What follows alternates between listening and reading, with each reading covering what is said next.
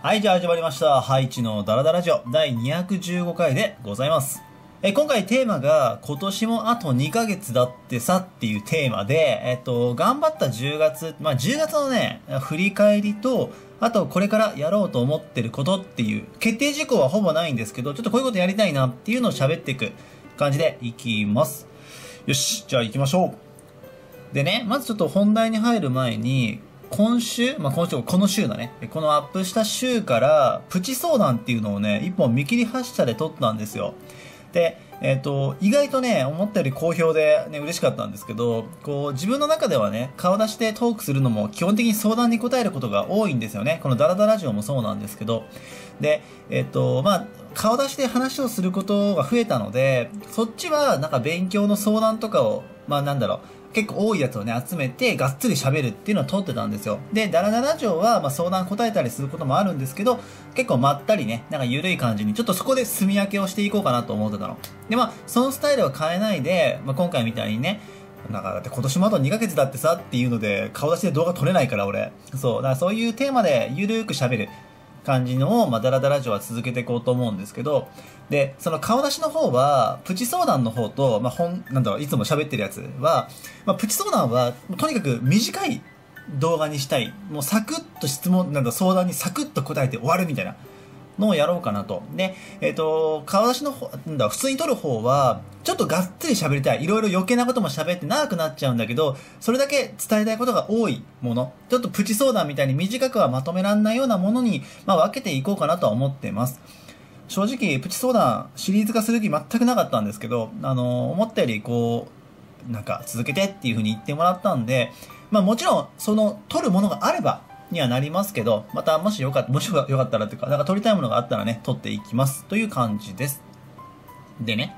まあ10月終わりましたよ。で、10月はですね、えー個人的には、まあみんなにもさ、こう中だるみしやすいから頑張る時だよ、みたいな話をしましたけど、まあ自分の中でもね、ちょっと10月は、勝負の月というか、頑張る月、頑張んなきゃいけない月だと勝手に決めていて、まあもちろん公言はしなかったですけど、あの、まあ、顔出しを始めたんでね、ちょっとそれをしっかりやっていこうかなと思ってやってきました。で、ちょっと前にさ、あの、耳のことがあって、まあ、医者に通ね、少し通ってたんですけど、で、まあ、耳ね、結局、まあ、なんだろう、薬結構飲んで、なんだろう、状態は良くなかよく、よく、なんだ、数値は良くなったんですよ。検査のね。でもね、あの、実は、あんまり良くなくって、こう、寝不足だったりとか、ちょっと、なんだろう、頑張っちゃうと、結構左耳がね、やっぱ聞こえなくなる、聞こえにくくなるか、ことはね、今でも多くてね、まあ、それさ、もうなんか一回もう医者に行って大丈夫だったって言ったから、動画ではちょっと11月になるまで喋るのやめようと思って言わなかったんですけど、そう。で、まあ体調もあんま良くなかったんだけど、10月頑張るって決めたから、あの、顔出しをね、ちょっと精力的に取ろうと思ってやってきました。で、なんでね、それをやろうと思ったかっていうと、こう、まあ、テスト対策だったりとか、受験対策とか、例えば高校生だったらさ、今数学しかないから、英語取ってとか、物理取ってとかさ、あの、いっぱいね、いろんなリクエストをいただくわけですけど、多分そっちの方が、あの、ありがたいって思う子は多い、ね、と思ってる。特にそれを求めてる子、英語なんだ、高校英語求めてる子だったら、高校英語アップしたらありがとうってなるだろうし、わーってなると思うんだよ。でも、まあ、ある程度、基礎のものは取り終わってる。で、高校に関してはさ、やっぱり専門科目がきついんですわ、正直。で、物理基礎をリクエストが多かったんで、俺がさ、学生の時物理基礎なかったから、で、あの、本屋さん行って見てきたんだよ、参考書。で、見て、中見てさ、で、ああ、懐かしいなとか思いながら見てたんだけど、物理取ってたから。で、もちろん勉強し直せばね、動画は撮れると思う、多分。うん、だからいけるかなと思った、内容見ててね、物理基礎の方だったら。ただ、いかんせん、あの、物理やってる方わかると思うんですけど、一問の対するボリュームが多いんですよね。だから、動画を撮ろうと思ったら、本当に一問一答みたいになっちゃうの。一問一答とか一問一動画みたいな。風になってしまうのね。で、それってどうなのかなってちょっと思っていて、今みたいなテスト対策とかだったらまだわかるけど、本編を撮るにあたってそれはどうなのかなと思って、うん、ちょっとね、なんだろう、自分がこう、なんだろう、YouTube で提供する動画としては、うーんっていう感じ。まあ、やり方を考えてね、ちょっといいものが思いつけば、もしかしたら始めるかもしれないけどっていう感じではいる。そう。で、まあちょっとね、話がずれちゃったけど、で、自分の中では、その、勉強ね、がっつり勉強の動画っていうとこよりも、まあ基礎の部分がね、ある程度取り終わってるので、特に中学生は。だから、まあ、10月中だるみもしやすいっていうのは分かってるし、自分の中で。モチベーションをね、こう、保たせたいというか、正直さ、あのプラスの言葉っていうのは、俺は長持ちしないと思っていて、マイナスの言葉って長持ちしちゃうんだけど、どういうことかっていうと、例えばみんなが、まあ、勉強じゃなくてもさ、まあ、運動でも何でもいいんだけど、何かを頑張ろうと思ってる時に、それを足を引っ張る、モチベーションを下げるような声かけ、まあ、言葉とか、なんだろう、まあ、何か物事が起こるとするじゃん。自分のモチベーション下がるようなことね。それってさ、結構引きずらない？長い期間。そのなんだろう、そのマイナスのことを断ち切るまでに時間かかると思うのね。そう。でもさ、プラスの言葉って持たないんだよ。例えば、じゃあすごい、じゃあなんだろう、自分を例えに出してちょっと恥ずかしいですけど、まあ、自分のことをすごいこう、なんだろうな、こう、なんだろう、なんだ、好いてくれてるというか、好いてくれてる言い方おかしいか。まあなんだろうな。尊敬してくれてるっていう方がいてね、ユーザーの子にもいるんだけど、こう自分がさ、ツイッターとかでリプを送るだけでもすごい喜んでくれる子とかもいるのね。で、例えば自分が頑張ってねってリプを送ったら多分その瞬間すごい頑張ろうと思うと思うんだよ。そう。でも、そういうのって持たないんだよね。本当2日3日経っちゃうと、やっぱりシュンってなっちゃうし、へこんじゃうし、みたいな。で、実際みんなの周りにいる、例えば憧れの人からとか、彼氏彼女から言われた言葉とかも、長く持たないんだよね。その瞬間頑張ろうって思った気持ちっていうのは。そう。で特にね、自分なんて、なんだろう、画面越しというか、の存在ではしかないから結局は、余計持たないと思うの。リアルの人にね、比べたらさ。だから、こう、まあ、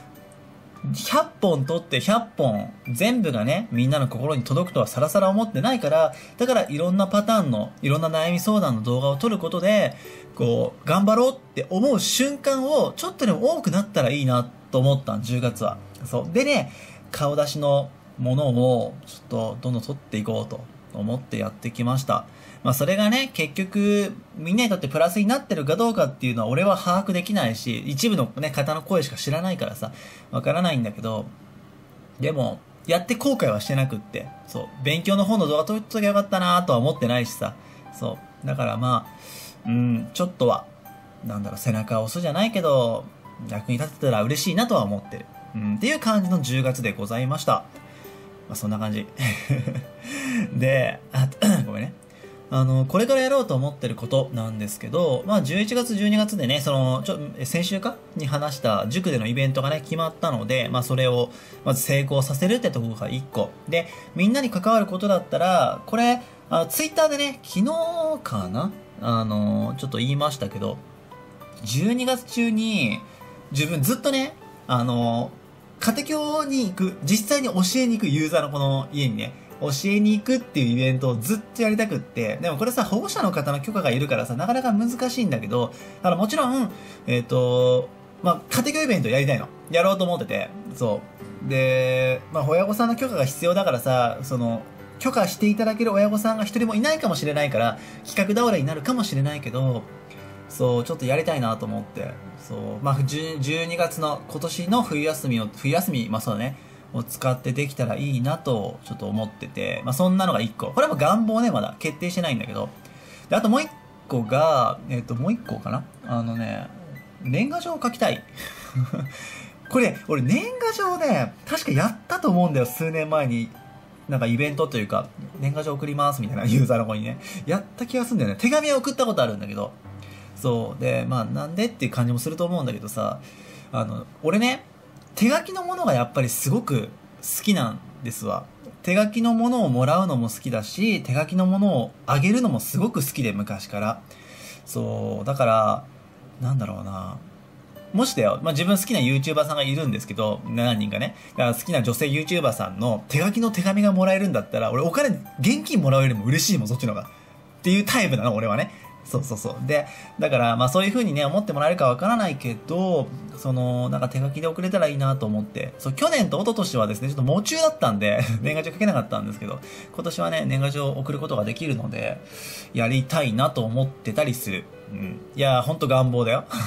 やろうと思ってることだからね。そう、決まっちゃいないんだけどさ。って思ってたりして、まあ手紙の方がいいのかなとも思うんだけど、まあ時期的に年賀状ちょうどいいしなとかね。うん、思っております。はい。そんな感じかな。あとなんか、なんかあったんだけど、人はその2個は絶対伝えなきゃと思ったら、その2個しか出てこないっていう事件ですわ。うん、まあそんな感じです。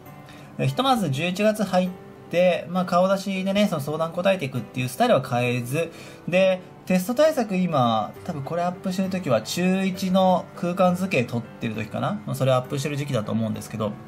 で、中1、中2、中3があと1生分ずつ残ってったかな、これで。中1が資料で、中2が確率、中3が、あれか、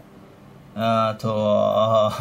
えっと、資料じゃねえや。出てこなかった。でも多分1章ずつ残ってて、あ、1章じゃねえか。中3は3編法もあるから2章か。そう、ただ、えー、テスト時期、だいぶね、もう、なんと先に取れたので、まあ、こっからちょっと切り替えて、えっ、ー、と、高校生の数3続き取るか、えー、中学生のね、まあ、受験対策の理科を取りたいなとは思ってるんで、そっちに切り替えるか迷ってるんですけど、まあ、どちらも準備がかなり必要なので、うん、すぐにね、取り掛かれるかわかんないんですが、ね受験対策の理科はちょっと取りたいよね、とは思ってる。うん、っていう感じでございます。はい。ちょっとダラダラ話しちゃいましたけど。まあ、ひとまず11月も、ちょっと気合入れてね、頑張ります。もうまあ、今日何日？今日何日？今日、5日か。はい、ごめん。になりますけどね。まあ、11月、12月ね、みんなが本当頑張る時期なので、まあね、えっ、と、みんなの、なんだろう、頑張る姿で、ちょっとでも少しでも、こう、頑張ろうって思ってもらえるように、今月もね、気合入れて頑張りますんで、ぜひね、11月もよろしくお願いします。はい、という感じで、ちょっとダラダラ話しちゃいましたけど、ここまでね、お付き合いいただきありがとうございました。で、ひとまず来週はどうだろうな。ちょっと喋りたいテーマね、ダラダラジオでこれ話したいなっていうのは何個かあるんですけど、まあそれ喋るか、また緊急で何か喋るかわかんないですけど、まあもしよかったらね、次回の方ぜひね、聞いてみてください。では、今回はこれで終わります。以上です。ありがとうございました。